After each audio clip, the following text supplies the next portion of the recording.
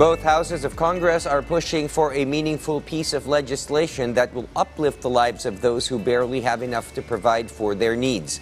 The Senate, though, sees the lower house take on the call for a much needed wage hike as possibly a burden that employers would have to bear. Why? Again, Luisa Erispe explains in this report.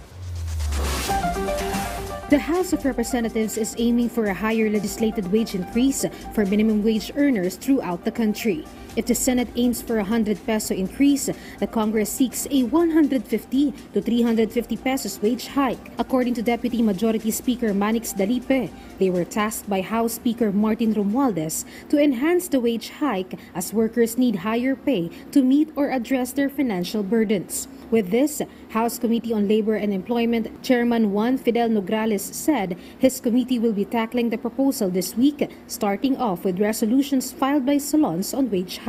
Meron ho tayong tatlong panukalang batas na nakahain po sa ating komite, yung 150 na recovery wage na panukalang batas po ni Deputy Speaker Mendoza at yung 150 across the board na wage increase ni Representative Jolo Revilla. At panghuli yung sa Makabayan Block naman po na 750 pesos across the board wage increase. Aside from the proposed wage increase, the committee is also set to tackle the procedures of the Regional Wages and Productivity Board in increasing the minimum wages of workers. Nograles said they do not feel pressured at all, even if the Senate tackles the same bill. Rather, they assure a constructive discussion with all stakeholders, including employers and owners of micro, small, and medium enterprises or MSMEs. Yung wage ho kasi masalimuot ho ito na paksa sapagkat may supply and demand, nandyan ho yung ekonomiya, nandyan ho yung inflation.